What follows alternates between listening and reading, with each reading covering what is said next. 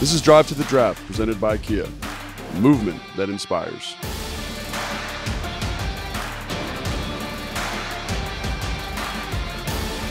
All right, this is the man now. This is the athletic freak of this group. 41 inch vertical. His tape is silky smooth. He is dynamic. He's long. He's six two and a half. Another one of those huge corners. But unlike Julius Brents, he has better production in college. He matches up well with receivers. Really fluid, fluid hips. I mean, he's a guy that's fun to watch. You know, we saw him walking around the hotel the other day, and he is a big, well put together guy. I think he's going to run fast here. We'll see. Um, working that setup, getting everything right, nice and relaxed. You can tell he's got that track background with the way the head's hanging there. Let's see what he does here. Oh, nice and smooth. I looked smooth for him. Let's see what we got here on the unofficial time. 4 4. 4 3 4, excuse me. So that's a nice time. Great time for him, and I think he's just secured himself as a top 10 pick with that. 6'2, Four three four. I mean, doesn't get much better than that. All right, Christian Gonzalez back up for his second run. This is the guy that will be in that top 10. If he were to fall for, to Washington at 16, I think they absolutely sprint that uh, that card up. They get you know they get Terry McLaurin in there in that draft room and have him run the card up because he's a really good football player. Told you, saw him walking around the hotel the other day. He is a big, good-looking son of a gun. Ran a 4-4 the first time, 4-4-4 the first time. Obviously unofficial time, but if he comes in with something a little bit, fa- that's a great time for him. But if he comes in with something faster, like he's definitely going to secure that spot. Um, but tall guys, hard for them to run fast. Uh, didn't like that one.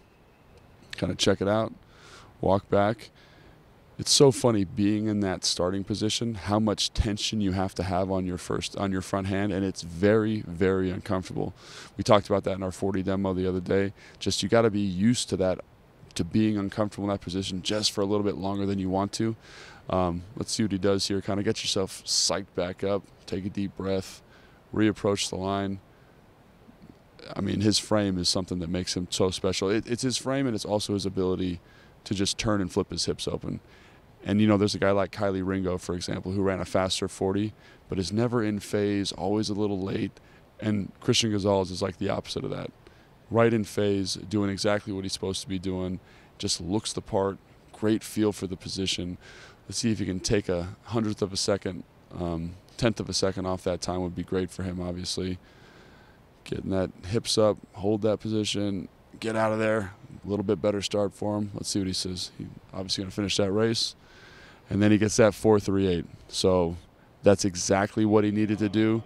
A guy that's just checking boxes with the measurements, with the jumps, with the run. That's exactly what this is about, is just confirming what you see on tape, and he's doing that with every event today. All right, now here, kind of the man of the hour for Washington, Joey Porter Jr. Big guy. Again, I know I've said that a lot. 6'2, 205, long arms. It kind of reminds me of like a praying mantis, right? These long kind of strikes on this receiver. More of a press man corner, so not a perfect scheme fit, but you see him getting mocked to Washington a lot. And it's because he is a tall, physical, very unique specimen. And like all the top top corners who have come before, the tall corners who have run before, how's he going to run? Let's see how this starts. That looks pretty smooth. I don't know. Let's see what this time is. 446, which is great for him. For a man of that size, that's outstanding. And I think that kind of time is just going to secure his spot as one of those top three guys. He did an excellent job with that. And um, good for him. And he's a guy that could very well be guarding Jahan Dotson in practice again, like he did in college at Penn State. Nice to see that rivalry for Washington. All right, Steve Avila from Texas Christian. Uh, he is a fun football player to watch because he's a big man. I think he listed 335 pounds, 6'4", and he just walks around big. He doesn't look like a like a fat guy. He's got a nice, good build build on him, but his feet are excellent. And I love guards with nice, athletic twitchy feet. It allows them to kind of burst to the second level, create power in a short area quickness. Um, I think he's pretty twitched up. I think he's going to run okay here. I think that was a pretty good 10 by him. And eh, let's talk about that real quick. I think the 10 for the offensive lineman is probably more significant than the long speed, but I think he showed good athleticism there, nice twitch, good movement skills. Keep an eye out for him. He's probably the second guard on my board. All right, Steve Avila from Texas Christian TCU is up. He ran a 5.21 the first time, and I guess I kind of expected that because his footwork is so good. It's so quick. Um, again, a huge man, kind of more in that big, hulking, bulking guard. Keeps excellent pockets to TCU. I love how he's bursting off the line. Not going to have the top end mechanics because he's so big, but you love the burst early in that rep one of those guys at 48 for Washington, you'd be drooling if he fell to you there. Uh, keep an eye out for him. All right, we just saw Anton Harris go. The next guy on the list is Broderick Jones. He, on film, is so incredibly raw. Only 19 start, starts at Georgia, plays left tackle. You can see he's having a hard, like he has a hard time kind of learning how to anchor, but he's so athletic. He's so strong his best football is ahead of him. And that's why he's a guy at 16 that I think is very, very likely for Washington if he were to slide. He's in that kind of top tier group right now. Everyone has him as the third rated tackle in the league. That's a great start by him. Should run a good time here. He's pretty athletic, pretty explosive. That's kind of his calling card. Again, best football ahead of him. Washington at 16 if he does slide to them. All right, Broderick Jones is up for a second 40. Ran a 4.98 on his first run. We talked about uh, Anton Harrison, we talked about Broderick Jones, how they, they are the athletic tackles of this class. They're like that guy you want to be able to play left tackle, the movement in space, all those things.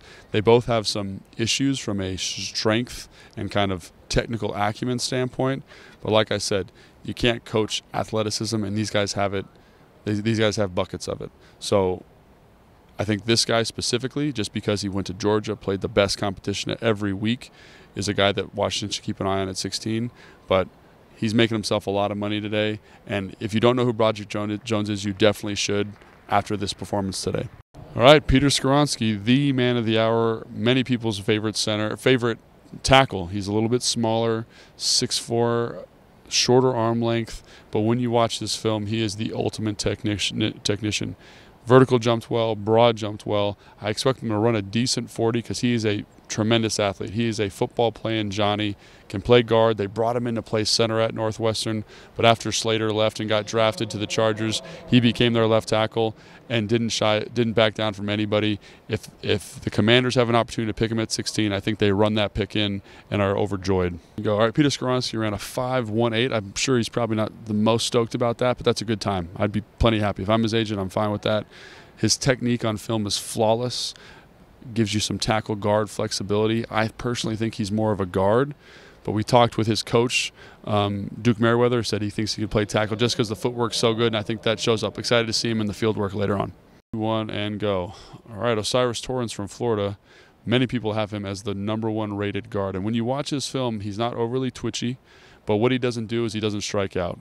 There's no no hitters on his tape. He's very consistent. He's consistent in pass protection. He's consistent in the run game. Not a lot of knockouts, not a lot of knockdowns, but the big man, 6'5, 345 pounds, performed excellent at the Senior Bowl, performed excellent, excellent against Jalen Carter um, from Georgia. He'll, be, he'll probably be the first guard off the board because of that consistent play and all right, Darnell Wright from Tennessee, who may be my favorite right tackle in this draft. He's big, he's 6'5, 345 pounds, good feet, good athleticism, good understanding of his pass pro angles, but also is nasty in the run game. He absolutely dominated Will Anderson, and I love that. I love his approach. Awesome at the Senior Bowl. Um, I think that's a pretty good time for the big man. You see kind of the lean legs. Keep your, like, he is someone that I love. I love him, and if he's available at 16, I think that's a possibility. All right, Luke Wypler from Ohio State. He's probably my third guard. I know some people, the guys at PFF, have him as their second or top rated guard. He's a little bit smaller than Tippmann, than Schultz, but he moves really well. He pulls. He's decent in pass protection. He's got excellent footwork. I think on the field drills later, he's really going to shine. I'm a little disappointed Tippmann's not doing anything today. He's working out at his pro day because it would have been nice to see Schultz uh, excuse me, Wypler and Tippmann all go against each other. But um, a little bit smaller than those guys, which some people don't like. I know some people like the bigger centers for pass protection reasons, but he is a excellent football player. Just think about that Ohio State offensive line: him, Dawand Jones, um, Paris Johnson, and that's going to be a good time for him, I believe. Yes, nice job. So Wypler definitely a guy to keep an eye on. Really solid pro. Washington's lucky, man. A lot of good centers in this draft. Uh, just to continue the run of centers, Wypler's back up. He ran a pretty solid time the first time out, um, 5'1", 5'2", something like that. Um, tremendous athlete on film. Love love his competitive edge, physicality. I think the other thing I like about him, he's very technical, and I feel like he could come in, plug and play right away. And I think that's a good thing for the Commanders, is there are so many centers in this draft that are close, if not already starting cal- caliber NFL starters. So he's one of the bunch, um, and I think he brings good value probably in the third round for the team. Nolan Smith from Georgia is up. Really undersized guy, probably 6'3, 235, 240 ish type pounds but he has so much athleticism. Former five-star recruit at Georgia, excellent pass rush ability. Missed some games this year due to injury, but gosh, when you watch the film in those pass rushing situations, he does flash dramatically. So again, we've mentioned inside-outside flexibility. Here is a guy that I think brings a little bit of kind of that traditional outside pass rusher, and um, and again, if you're adding, if you're trying to add pass rush juice, Maybe this guy allows you to bump Chase Young inside a three technique on certain downs. Here we go. Good horizontal projection. Come on. He's out. Kind of like to see him pop up there. Good. Not quite as explosive off the start as I thought he would be, but like the race, and again, the film there is outstanding. Lucas Van Ness is the Superman in this year's draft. Didn't play a whole lot at Iowa. There he goes. He should run really fast here. He's big man. He's 6'5, 280 pounds with an eight pack plays with tremendous power and physicality. So he's a guy that I'm sure he ran well right there. Will probably be gone when Washington picks, even at 16, looking to be a top 10 pick. But I wanted to show him to you. A guy, again, can play defensive tackle, play edge, just overwhelms offensive linemen with his strength. But I think he's also showing here that he's a tremendous athlete as well. All right, De'Von Achane from Texas A&M is up, and he is supposedly one of the fastest people at the combine this year. 10 100 meter guy, legitimate track speed, and that shows up on tape in a dramatic way. Not the biggest guy in the world. Yeah, nice smooth start. It's going to be a fast time. Excellent run there. Yeah, very fast, explosive play waiting to happen. Not the biggest guy. Some people are concerned about his size, but would be a, a wonderful ad for the for the Commanders. Can never have too much speed. De'Von Achane's back up for his second 40, and he did not disappoint. Ran a 4.34 he is absolutely rolling for a running back that is tremendously fast. I think he's kind of every opportunity he gets to run is bumping himself up in terms of draft draft stock. As much as I'd say the Commanders should pick him at 48, I don't. I think the value on running back isn't there at that spot for the Commanders. But someone he's going to make some team very happy. Think about what if he went to Miami, having Tyreek Hill, him at running back, and then Darren uh, Waddle the, on the other side. That would be probably the fastest football team in the country. So Zach Charbonnet from UCLA is up right now, and he might be the best, have the best vision of any back in the class. He catches the ball well, he finds the creases, lacks that top end speed, so I'm not really sure what he's going to run here. That's not a bad start. Definitely not as fast as the first two guys. Bigger guy, 6'1, 220 pounds. Uh, he is one of my favorite running backs in the class, not just because he went to UCLA, but because he's a complete back. All right, Zach Charbonnet is back up with his second, his first time, four, five, six. It was exactly kind of where I thought he'd be. He doesn't flash with his speed. He flashes at all the other elements of the game. He would be an interesting selection for the Commanders because he does catch the football well. He does run well, but he kind of feels a very similar mold to what they already have. Can they get a pass catching back that's a game changer? Uh, like Gibbs. Gibbs, like I said, won't be available, but love him. Not sure he's the right fit for the Commanders. All right, I think there are going to be some fireworks here with Jahmyr Gibbs, the running back Alabama. He's getting a lot of Alvin Kamara comps. I personally think he's a little bit more twitchy than that. He's got a little bit better burst. He's just an explosive play waiting to happen. He catches the football well. He reads, runs nicely. He's not the biggest guy in the world, but he is a playmaker. He he's explosive. Just love watching him play. He's very different than the kind of the traditional Alabama bruising running back to me, this is a perfect iteration of what the commanders are looking for. Now, he won't be there when they're picking. The value for him is going to be too high. Someone's going to pick him high in the second round, probably before they pick at 48. But this is the type of player, this mold. Um, you know, excuse me. Gray from Oklahoma is another guy, pass catching back, not quite as explosive. That's why he'll be available later, not running today. But Gibbs, is kind of the prototype of the modern back. Can you line him up receiver? Yes. Put him in the slot. Can he beat a linebacker? Absolutely. Here we go. Nice. Hold it there. That's a pretty smooth race as well. We're going to have some good times today. A lot of fast running backs. Jahmyr Gibbs is back up from Alabama. We talked about how he was an explosive play waiting to happen, and he did not disappoint. Came out ran a 4 4. Let's see if he can get that down. I mean, that would be crazy having all these running backs run four threes. Um, I think he's perfectly capable of it. Very explosive gentleman.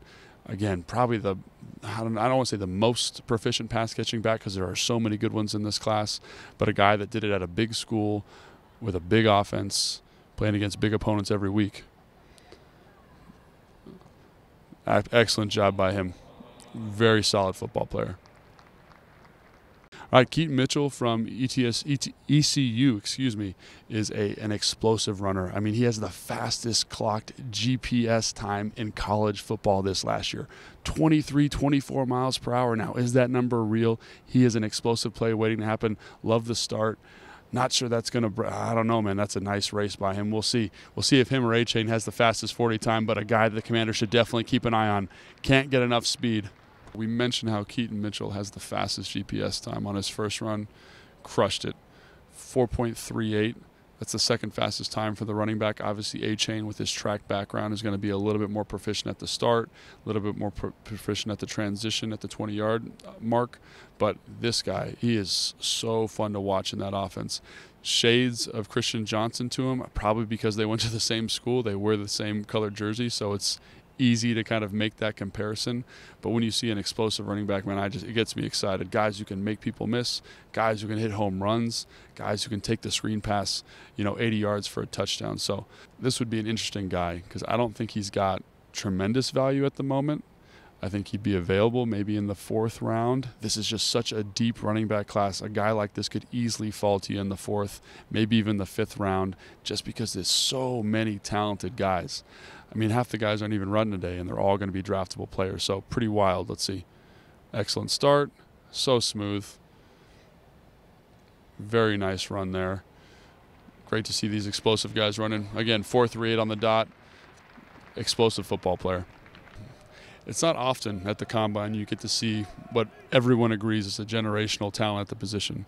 Talked to multiple scouts this week saying this is the highest running back they've evaluated in 20 years, since Adrian Peter, Peterson almost. So that is crazy. We're going to get to see him run. He does everything well. He's got excellent vision. He breaks tackles. He catches the football. He's explosive. I'm not sure what he's going to run. I'd say probably in the four fours if I was going to guess. But man, he is flying right there. Everyone says he's a top five value from a pick standpoint. But when do, you, when do you take a running back? What's the value on the position? He is a special football player.